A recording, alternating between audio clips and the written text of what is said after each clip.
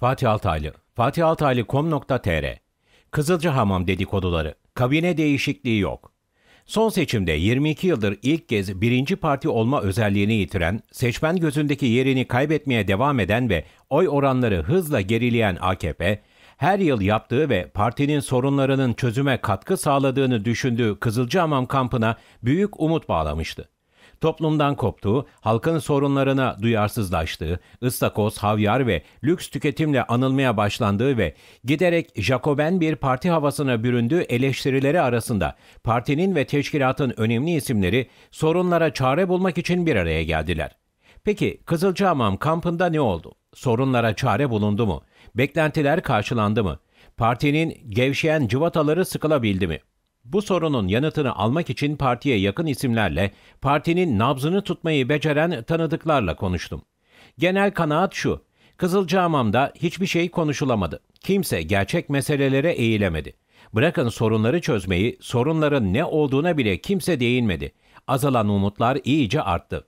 AKP'nin Kızılcahamam kampı daha çok milletvekillerinin bakanları suçladığı ve seçim kaybını bakanların sırtına yüklemeye çalıştığı tartışmalarla geçmiş milletvekilleri Cumhurbaşkanına bir şey söylemeyi başarabildikleri her anda bakanları şikayet etmişler, toplantılar genelde bakanlara ayar verme toplantısı şeklinde geçmiş. Şebnem Bursalı'nın Cumhurbaşkanı Erdoğan'la çektirdiği fotoğraf ve bu fotoğrafı her şey yolunda sorun yok şeklinde sosyal medyasından paylaşması infiale sebep olmuş. Bunu güç devşirmeye çalışma ve yanlışı legalize etme olarak görmüş tüm milletvekilleri. Geniş katılımlı toplantılarda pek bir şey konuşulmamış ama küçük grupların bir araya geldiği görüşmelerde yapılan dedikodu ve eleştirilerde hedef Ali İhsan Yavuz ve Hayati Yazıcı olmuş genelde. Bu ikilinin kendi sorumluluklarındaki seçimin başarısızlığını il ve ilçe teşkilatlarına yıkma çabası teşkilatları kızdırmış. AKP liderliğinin İstanbul'un geri alınamamasından, kale durumundaki bazı illerin kaybedilmesinden daha moral bozucu olarak gördüğü iki ilçenin kaybı çok konuşulmuş ve moral bozucu olmuş. Bu ilçelerden biri Sakarya'nın Sapanca ilçesi, diğeri ise Giresun'un Görele ilçesi. Bu iki ilçenin kayıplarının simgesel ve moral önemi geleceğe ilişkin çok karamsar bir tablo oluşmasına neden olmuş. Partideki dağınıklığın bir göstergesi olarak ilk kez bir seçime medya ve tanıtımdan sorumlu biri olmadan gitmesi de ele alınmış. Bu görevi üstlenen Hamza Dağ'ın İzmir adayı olarak kendi derdine düşmesi, Ertan Aydın'ın birkaç ilde çalışma yapması ve yüksek harcamaları ele alınmış. Cemil Ayvalı'nın bu işi götürecek çapta olmadığı konuşulmuş. Kızılcahamam'a damga vuran kulislerden biri ise eski bakan Mustafa Varank'ın Cumhurbaşkanı'nın özel kalem müdürü Hasan Doğan'ı yemek için yaptığı çalışmalar olmuş. Varank ayrıca partinin muhaliflere karşı daha sert tutum alması gerektiğini, gerekirse oy kaybına tahammül edilebileceğini ama partinin ana ekseninden uzaklaşmaması gerektiğini savunup durmuş. Bu arada benim iyi bulduğum yeni bakan Kacır'la arasının pek iyi olmadığı da gözlerden kaçmamış. Ve son olarak şunu öğrendim. Cumhurbaşkanı Erdoğan'ın kafasında bir kabine değişikliği falan yok. Bakanlar değişmeyecek. Hepsi yerli yerinde kalacak. Değişme olasılığı olan tek bakan Ticaret Bakanı Ömer Bolat. O da siyasi değil, sıhhi nedenlerle. Ömer Bey'in ailesinden birden fazla kişinin sağlık sorunları yaşadığı ve Ömer Bolat'ın da onlarla ilgilenebilmek için görevden affını istediği söyleniyor. Derin Galatasaray diye bir şey yoktur. Galatasaray'da Erden Timur'un istifasından sonra bazı taraftarlar ve Galatasaray'ın iç yapısından haberi bile olmayan kimi sözde yorumcular derin Galatasaray masalları anlatmaya başladılar. Derin Galatasaray Erden Timur'u yemiş. Mektepliler Erden Timur'un yükselişine tahammül edememiş. Küçük olsun bizim olsuncular devreye girmiş. İnan Kıraç'ın adamları Timur'u Galatasaray'dan uzaklaştırmışlar ve daha bir sürü palavra. Sondan başlayarak anlatayım. İnan Karaç'ın Galatasaray'da zannettiğiniz gibi bir etkinliği asla olmadı.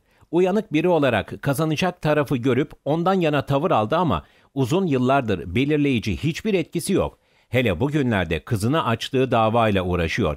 Değil Galatasaray'da bir tarafı tutmak, kişinin tutabilirse başarı sayılır. Derin Galatasaray diye bir şey yok, bunu bilin. Galatasaray'da akıllı, ananeyi bilen, kulübün köklerine sahip çıkan tecrübeli isimler var ama bunlara derin Galatasaray denemez.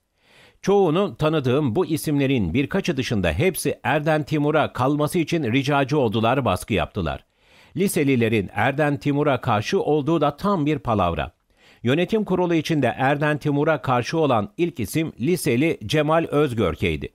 Onarımını yaptığı binicilik tesislerine babasının adını vermek dışında bir başarısı olmayan Özgörke'in zengin olmak dışında bir özelliği ve becerisi olmadığı halde yıllardır yönetimlere alınır.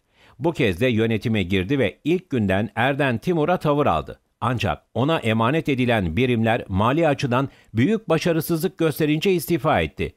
Yani Erden Timur'u yiyemedi, kendi gitti. Yönetimdeki bir diğer Erden Timur muhalifi ise liseyle hiçbir alakası olmayan ve Gesiyat grubunun temsilcisi olan Metin Öztürk'tü. Yıldız'ı hiç barışmadı ama Timur'u onun yediğini söylemek komik olur.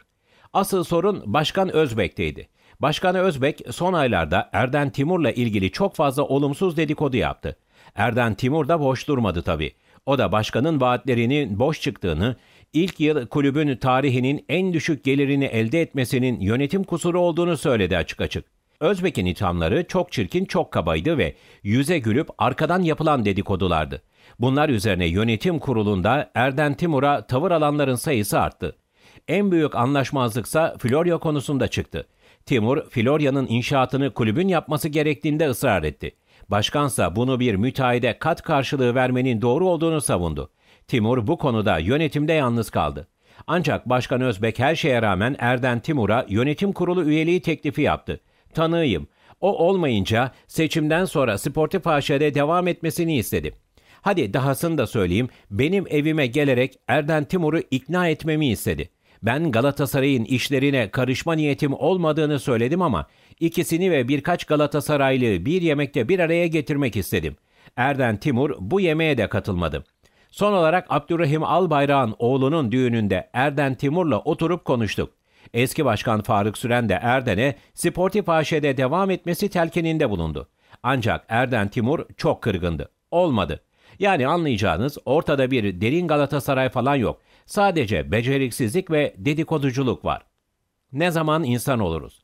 Şanslı spermden gelmek dışında bir başarısı olmayanlar kendilerini çok değerli zannetmediği zaman